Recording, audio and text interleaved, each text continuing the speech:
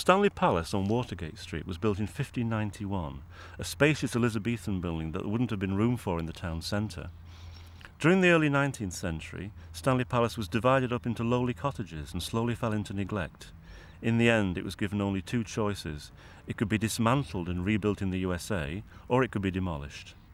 Fortunately, Chester Archaeological Society were able to buy the house, and in 1935 it was heavily restored. Inside there are many interesting features. The ceiling in the Queen Anne room has some fine plasterwork, while the curved beam over the fireplace in the hall is said to have been taken from a ship that was broken up in the nearby port area. The 17th century staircase leads up to a long gallery of the Tudor period.